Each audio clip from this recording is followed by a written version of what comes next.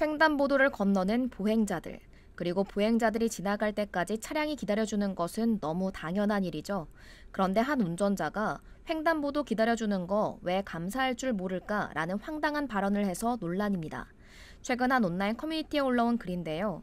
글쓴이 A씨는 신호등이 없는 횡단보도에서 사람들 건너가라고 기다려주는데 목례라도 했으면 좋겠다라며 보행자가 기다려주는 자동차 운전자에게 감사해야 한다고 주장했는데요.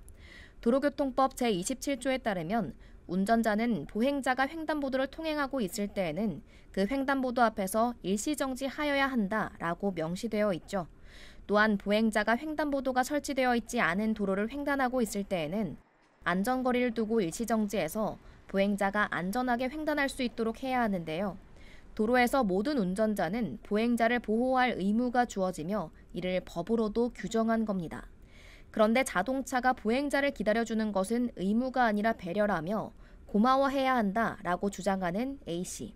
해당 글을 본 네티즌들은 어처구니 없다는 반응을 보였는데요. 네티즌들은 보행자 우선이 법인데 뭘 고마워하라는 거냐? 너는 길 가다가 너 안 때리고 그냥 지나가는 사람한테 고마워하냐?